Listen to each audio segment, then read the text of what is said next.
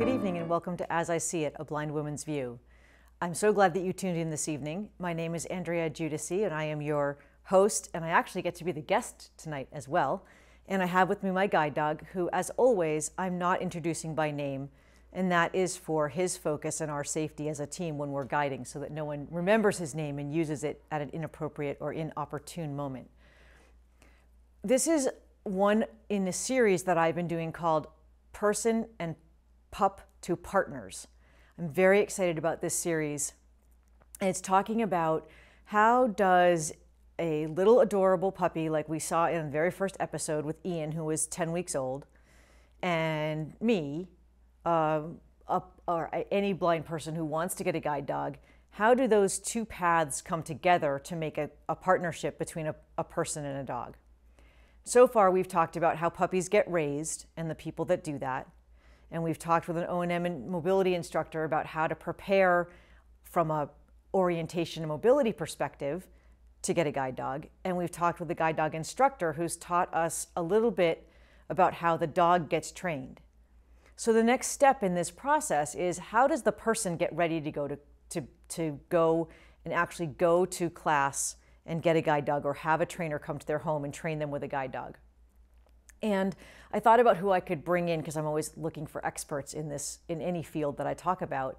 And while I'm certainly not an expert, I have a lot of experience in getting ready to go to guide dog school. So I decided to interview myself. Plus, I really had fun doing this in January and February. So I thought, well, if I enjoyed it then, I probably enjoy it again. Once the decision has been made to get a guide dog and a person has been interviewed by the school, the process typically involves a, an in person interview where a representative from a guide dog program will come and talk to you about your lifestyle and the things that you are going to do in your life, what kind of work and play and volunteerism that you have. What is the environment the dog's going to live in? Do you live by yourself? Do you have five cats? Do you have 40 goats and two chickens? What is the environment that the dog will live in? And then what is the type of environment that you work in? Do you work in a city? Do you are you in college and your dog is going to have a very erratic schedule? Are you someone who goes to an office every day and so for big chunks of the day your dog will be inactive? These are all very important things for a guide dog school to know about you so that they can start to do the matchmaking process that brings the correct dog together with any given person. So that's what the first step is. So you fill out your application, you have your home interview, you um, the, the, the, school determines that you are eligible that you meet the criteria on all different levels and now you have found out you're getting a dog and it's time to get yourself emotionally ready for that. And not only yourself but your family too. I am with my guide dog number six. So i've done this six times now. There are people who've done it many more times and there are people who haven't done it that many times yet but I think that there are some very consistent things that people feel and experience and wonder about as they're preparing for this this time between you get the letter saying you're accepted and the phone call saying you're accepted and the day you you go to guide dog school or the the trainer shows up at your house with the guide dog. One of the most important things that I tell people when I am talking to them about whether or not a guide dog is the right choice for them is that it's not just about having a dog that goes everywhere with you. And many, many people like dogs. And so they think, oh, that'd be so cool. And I think I've mentioned this in other shows that I also thought the first time I got my first guide dog that I wouldn't have to be a participant, that I would hold onto the harness handle and simply sort of be an anchor. The dog would sort of drag along behind them and they would do everything, all the thinking, all the decision making. And I thought, wow, that's really cool. I won't have to think about anything. I won't have to know where I'm going or have a map in my head or anything like that. And it doesn't matter where I am in the whole country. If I want to go to Dunkin' Donuts, off I go. If I want to go to Cumberland Farms, I just say to the dog, find Cumberland Farms. It doesn't matter if we're in Simsbury or West Hartford or if we're in you know, Topeka, Kansas. The dog's just going to know magically know where Cumberland Farms is. Um, and so these are some things that I explain to people when they are considering whether a guide dog is the right choice for them. Working with a guide dog is very definitely a partnership. I still need to know where I'm going and how to get there because my dog is the pilot and I'm the navigator. So my dog is relying on me to give instruction uh, as to when to turn right and left And to do that, I need to be able to know how many blocks I need to walk before I make a right or a left, how many times I need to turn before I get to any given destination. So, so if you will, picture in your mind a set of written directions that say, walk three blocks, cross the street, turn left, cross the street again, walk one more block, turn right, walk two blocks, turn left, walk three blocks, and the and cross the street. And once you cross the street, the, the destination you're looking for will be about halfway down the block on your right. That's what I need to be able to say to my dog. As we go along our path, each step as we cross streets, as we come to intersections, I need to know what to do. And I need to communicate to that to him so that he can then guide me safely through that environment, avoiding obstacles and stopping at changes in elevation and all the things that we've talked about that guide dogs do. So, for anybody who's looking for a way to not have to think or participate, a guide dog is not a good option because you do absolutely have to do that. In fact, I don't really think there's anything that involves no thinking, but if there is, a guide dog isn't it.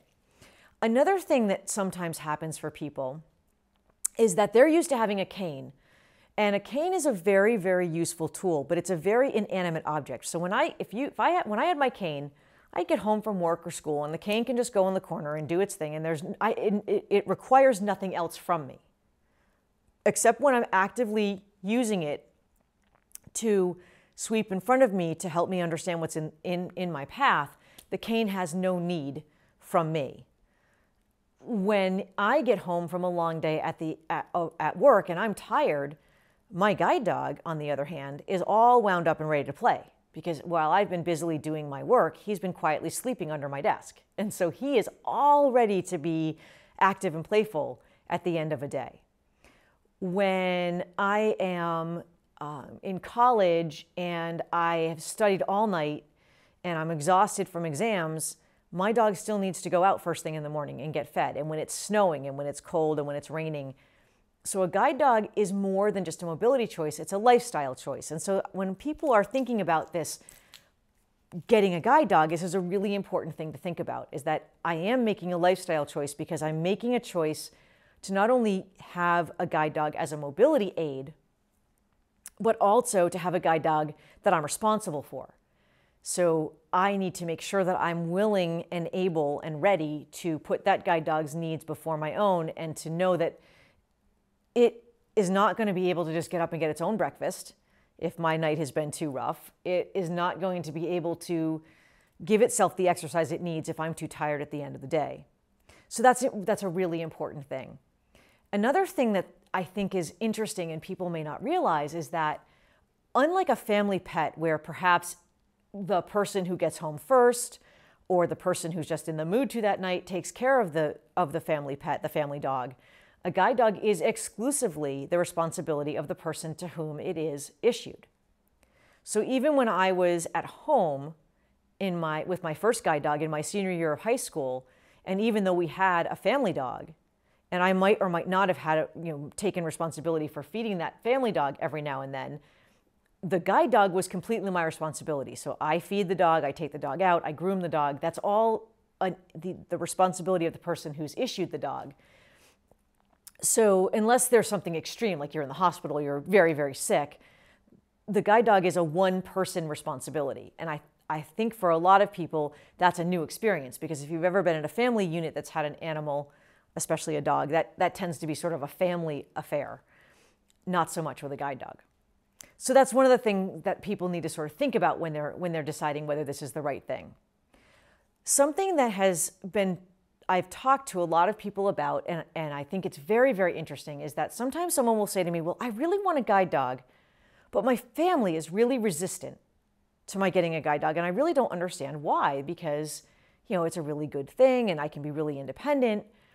When I sit down with that person and we talk about it a little bit more, what I realize and what they realize is that it's not that the family doesn't want them to be independent, but that if you're family, your parents, your husband or wife, your boyfriend or girlfriend have always been the person who has been your sighted guide. So whenever you go out, you're holding their arm, they're, they're the one who's really performing that task.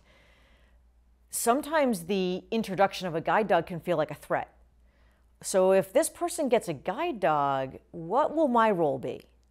If, the, if they're always going to have their guide dog, so they're going to be all kinds of independent, and when we go out to the grocery store and we go out shopping and we go out to dinner, what will my role be now that they have the guide dog? They won't need me. And of course, this is absolutely not true. Anybody who has a guide dog still often will use sighted guide, holding on to the arm of someone they're with or holding hands with someone. Um, but I think that for the people who are the immediate family and loved ones of someone who's getting a guide dog, it's not just the it's not just a new experience for the person receiving the guide dog. It's also really a new experience and a life-changing aspect for all the people who are immediately in their world. And it can be helpful to have conversations about that and just say, you know, I, I want to make sure that you know I'm not replacing you or your importance in my world with this guide dog. And yes, we absolutely can go out and take walks holding hands on the beach. And yes, when we go out to dinner, you know, if, if you if you know, I, I, it's not that I will never hold your arm again or you'll never be giving me assistance. It will just be different because now I'll have the guide dog to, to help me. But I, I, I know that for some people, it feels sort of like a threat that that guide dog is going to come along and all of a sudden their role has completely been uh, subjugated by the guide dog. So that's something to, to think about and to talk about with your family and your loved ones as you're getting ready to go to guide dog school is I want to make sure that you realize that this is going to be different, but it's not going to be bad and I'm not replacing you with something that has a wet nose and a waggy tail. I'm just I'm just adding to the experience. It's interesting too to think about that in guide dog when you go to guide dog school or when you're training with a guide dog there's so much to learn. And so when you fill out the application it will say, well, you have to be able to walk, you know, a certain distance without stopping and to be pretty active throughout the day. And and often you're more busy in any given period of time in class than you will be at home because you have so much to learn. There's, there's, you're working with your guide dog, you're having lectures and learning the, the practical theory behind how your dog is trained and what you're doing. You're eating communal meals, which is really fun, especially if you live by yourself. I didn't want to come home from guide dog school because I live alone. So I was like, oh, cool, I have people to eat with every, every meal. And you often make really good friends at, at class um, it can be really intense. So sometimes, eh, just like when you have any group of people living together in a small space, um, it can be a little testy at times. But sometimes you're very, very lucky and you meet some amazing people that you become very close with. And the last time I was in class, I made friends who I am still very, very close to. And we emailed almost every day for the first year after we got home because we just connected so, so, so intensely during that period of time. Um, so there's all these things pinwheeling through your head as you're waiting to get your guide dog. And then you start thinking, well, what is my dog going to be like? Because you're often not told until very close to getting to class anything about your dog. And even if you are told anything, it might only be that, you know, your dog's going to be a boy or your dog's going to be a girl, but you might not even know that until you get to class. And so as class gets closer and you start to have all the other things put into place, okay, so you know, these are the this is how the dog is going to integrate into my life, into my household, into my family and, and immediate friends. You've prepared your coworkers that when the dog comes home, it's going to be you know, off when a dog first comes home, and, and, and as I've mentioned many times on the show, when a dog is working, it needs to be totally ignored. Well, that can be really hard when you introduce a dog into a bunch of colleagues who love dogs or family members who love dogs. I work with people who love dogs. They're very, very good about ignoring my dog when he's working, but it's it's not easy, and they have to, you know, they ha- I, they have to really think about it, especially because he happens to be a flirt, so he tries to flirt with them. Um, sometimes there's resistance. Well, what do you mean we can't pet your dog? What do you mean we can't interact with your dog? It's a dog. We love dogs.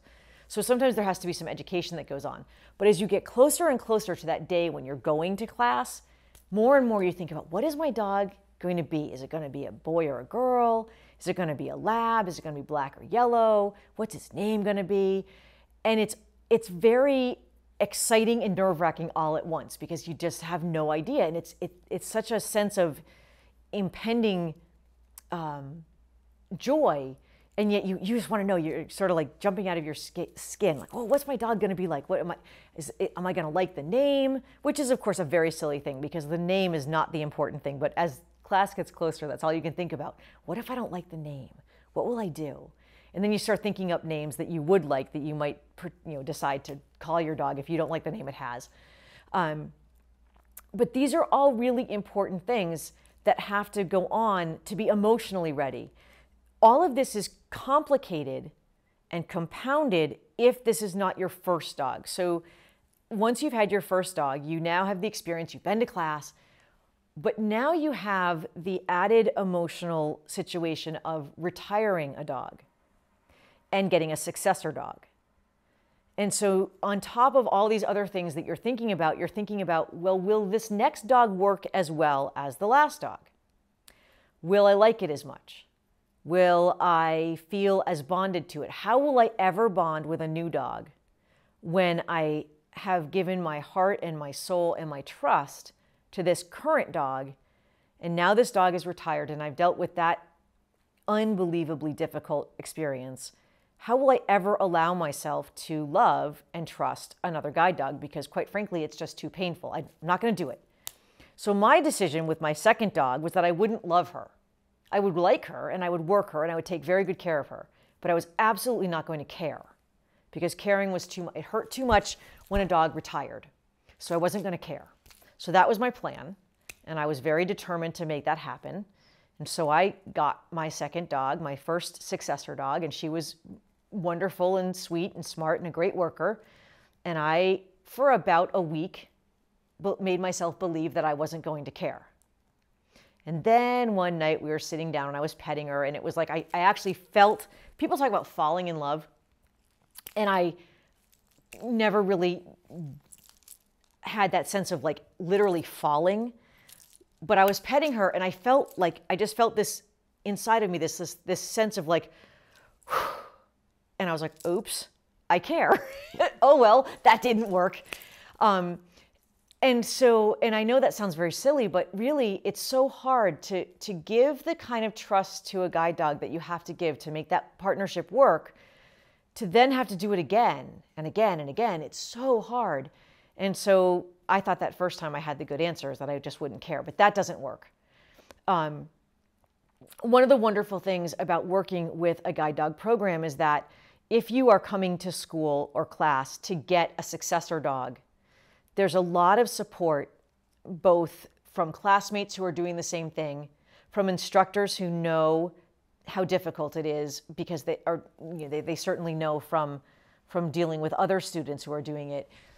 And there's often a social worker or or um, support peer counselor who can talk to you about the feelings the emotions that you're having because it can be very confusing here. You you want to love and respect and work with this new with this new dog, but you have all these feelings for the for the dog that just retired, and it can get very messy. It's very emotionally messy, and and having support and being allowed to say all the things that you're feeling can be really helpful, especially if you're talking to another guide dog user who's going through the same thing.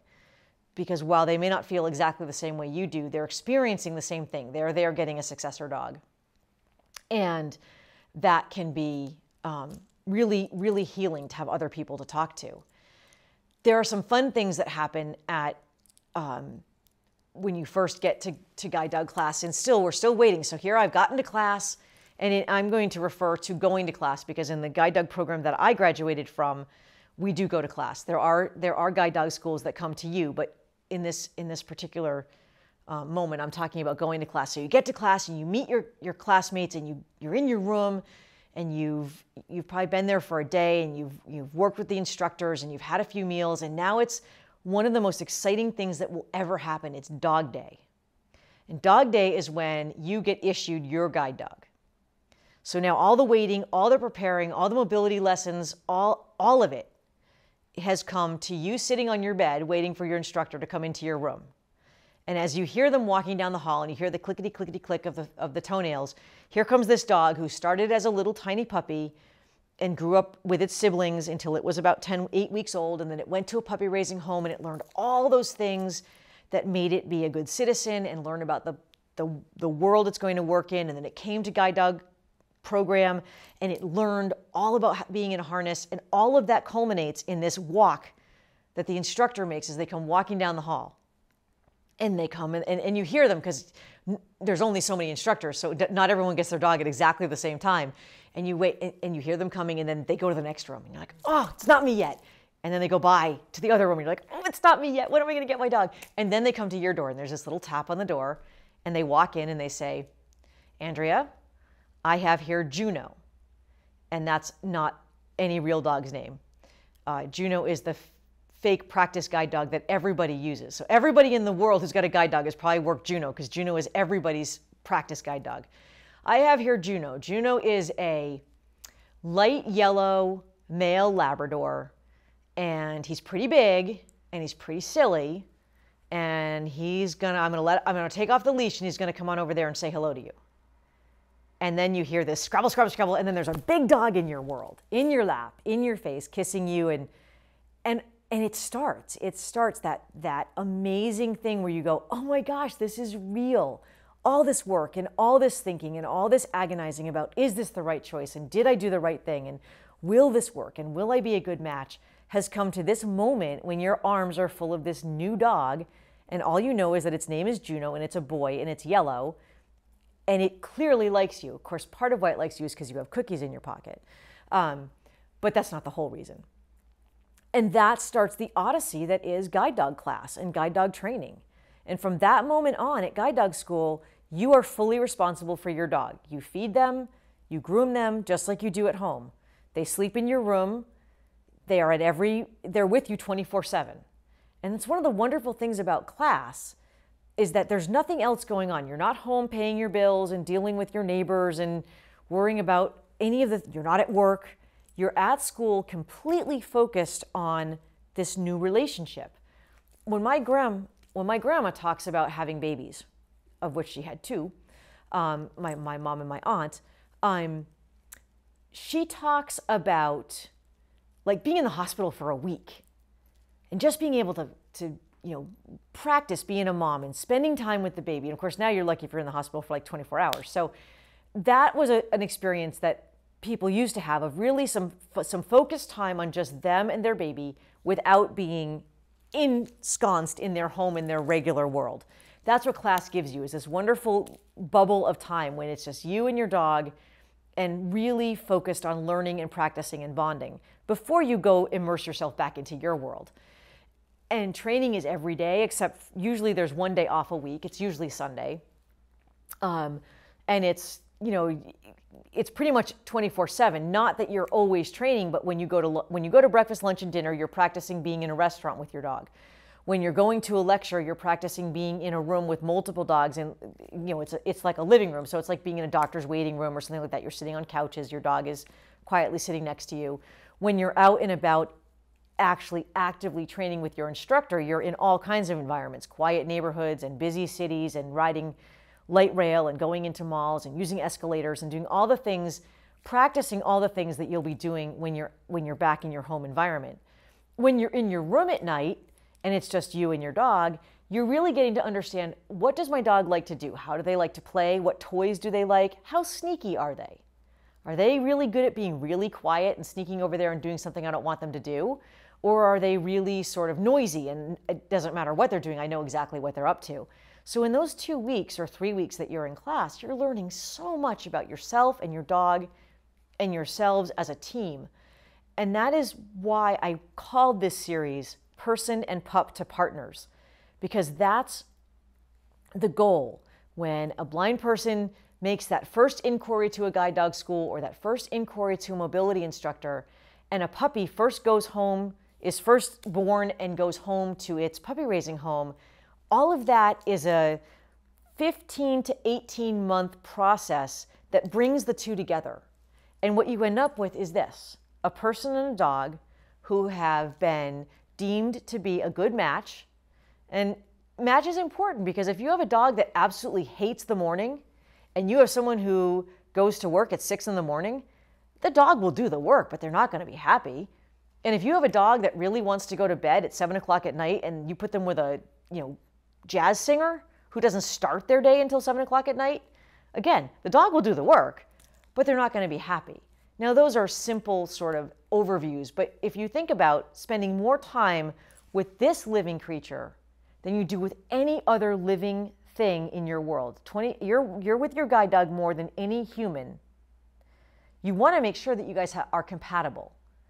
If you are a person who works in a building where there are lots and lots and lots of tours of small children and your dog doesn't particularly like being around small children, well, that's not a good match if you are a person who travels all the time for work and you have a dog who really would prefer to be in a similar environment all the time, they really like it when things are, are regular.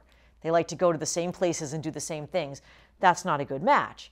So when the guide dog school is looking at the dogs that they have and they're looking at the applicants that they have, they really are thinking ahead to what is the lifestyle that this guide dog is going to be living in.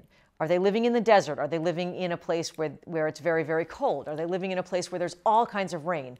My dog would be terrible if it lived in a place where it rained all the time because he doesn't like to do anything when it's raining. He doesn't like to go potty. He would rather not work if he didn't have to. So he would have been a very bad dog to place in some place that rains all the time.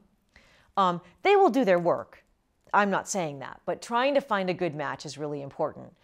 And so this is this is the this is the process. This is the process that brings a puppy to adulthood as a guide and a person from inexperienced traveler to competent cane traveler to ready for guide dog school to guide dog human partner.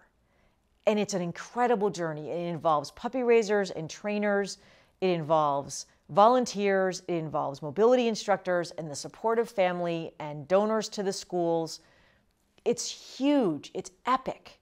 But what the end result is beyond words. I have struggled for, believe it or not, 30 years that I've been working guide dogs to try to come up with adequate words to describe what it is to, gra- to hold the harness in my hand and to walk through the world as part of this team. It's it's powerful, it's empowering, it's unbelievable, indescribable. And it's as everyday to me as seeing is for anyone who sees. And it's as amazing and out of this world and unbelievable every day as it would be to be able to go to the moon every day and come back. That's the, that's the polarity of having a guide dog. It's regular and routine and every day. And at the same time, it's remarkable and marvelous and indescribable. And so that's that's what that is. And this is why I've wanted to share this experience because it's so so important. That's why this series has been so exciting to me. Now that you've learned about how the puppy becomes a grown-up guide dog and how the blind person gets their skills in an appropriate fashion to be able to be partnered with a guide dog, there's not a lot more to say about that. But since I really like having a series, I can't be done yet, of course. There's a couple of other things that happen. Sometimes a guide, sometimes a dog doesn't make it to be a guide dog. That's not what their job is going to be. So next time we're going to talk to people who have dogs that were career changed. They did not become guide dogs, but they have another job. And that job might be to be a pet, or that might, job might be to be a service to some other, uh, in some other type of service and then there's also other people and their perspectives on how the guide dog has changed their life. And we haven't even had a chance to talk about that yet. How the guide dog has changed my life in so many ways, and other people too. So I'm going to get very brave and do something I've never done before on my show, which is to have a panel discussion with like four guests and me, which is going to be really cool, I hope. I hope I'm successful at that. So that is what this is about is learning the whole picture from puppy to guide dog to what happens if I can't become a guide dog to why did I choose to have a guide dog. I want to thank you so much for tuning in tonight and, and thank you for being on this journey with me to explain about the most important thing in my life, which is to be a guide dog handler. This is As You See It, a blind woman's view uh, excuse me, as I see it, a blind woman's view. And I really appreciate your tuning in tonight. Have a great month.